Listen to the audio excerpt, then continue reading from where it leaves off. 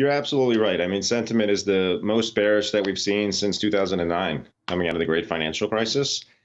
But, you know, in our view, as you mentioned, our firm is pretty bullish. I mean, if you look at what's happening with the economy right now, um, U.S. consumer spending increased by just over a percent in March. Um, as we know, about two thirds of the U.S. economy are really stem from consumer spending. Um, I know that the you know GDP contracted in the first quarter, but if you look at real um, domestic sales, they actually increased at 3.7% last quarter versus 2.6% in the previous quarter. Um, and if you look at you know the tight labor market, unemployment is at historical lows, and also look at household balance sheets. I mean, for the first time in three decades, um, U.S. households have more cash than they do debt. Um, so we think there's still a pretty strong underlying uh, economy and consumer right now.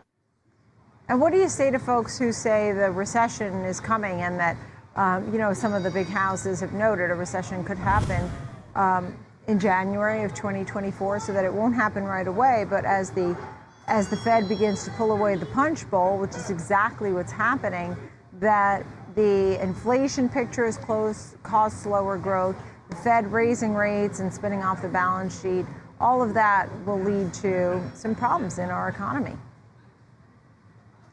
It's it's possible, right? Anything's possible. I don't have a crystal ball. If I knew what was going to happen in 2024, mm-hmm. I probably wouldn't have to be right. working right now. Um, but I think the the numbers that I mentioned about the economy are really reflected in earnings. I mean, look at what we've seen this earnings season.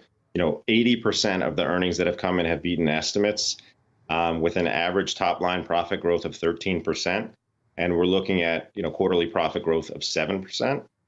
So I think the continued um, spending by the U.S. consumer and growth of the economy is really reflecting what we're seeing with earnings.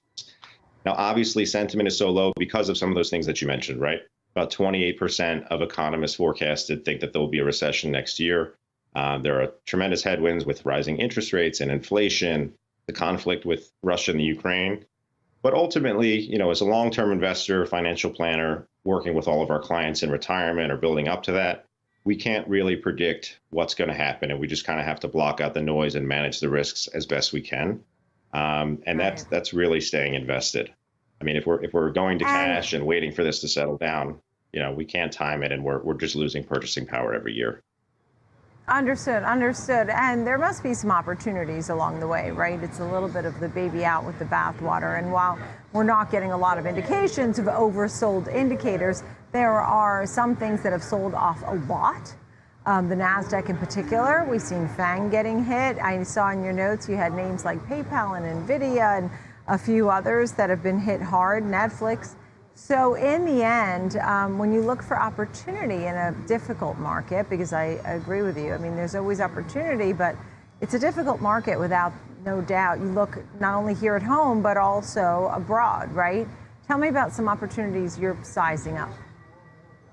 Yeah, absolutely. So, I mean, one of the areas that we've seen outperform over the last year or two, especially this year with the volatility pretty much everywhere else in the market, is commodities.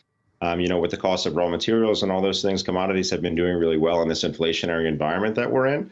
So I think emerging markets really provides a great opportunity moving forward. I mean, a lot of these emerging market economies are commodities-based economies.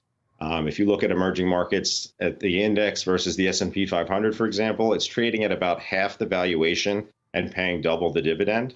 Um, and I think if we do continue to see inflation and supply chain shortages and all these things that are ultimately going to benefit commodities, um, emerging markets is definitely a great place to be. Yeah. What about other commodities here at home when you look at things like gold and silver and energy? Um, you know, we've we just finished talking about the strength of the U.S. dollar, but um, do you ever look at those kinds of commodities? Sure. Yeah, we definitely want to own, you know, commodities-based index as well, um, with all those things that you mentioned. You know, precious metals, oil, natural resources, agriculture. Mm-hmm. We look at right now what's going on with the price of corn and wheat. Um, so absolutely, we want to own all those things. And you know, if you look at market trends historically, like from 2000 to 2009, emerging markets and commodities did pretty well. They really haven't done much of anything over the prior decade. You know, from 2009 up until a year or two ago. So we think that there's probably going to be a shift, and you know, we're we're likely to see some of those other things outperform over the next 10 years or so, as opposed to what we've just seen most recently with growth and tech in the U.S., for example.